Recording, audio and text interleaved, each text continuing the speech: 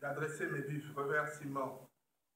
L'annonce de la formation du gouvernement d'union nationale marque une étape importante dans le début de la mise en œuvre effective de l'accord politique global du 18 octobre 2007.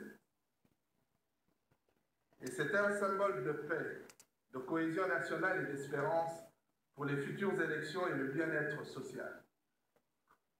Au moment où je m'apprête à prendre mes fonctions à la tête de ce gouvernement de large consensus, je voudrais lancer un appel à la paix, la tranquillité sur toute l'étendue de la République.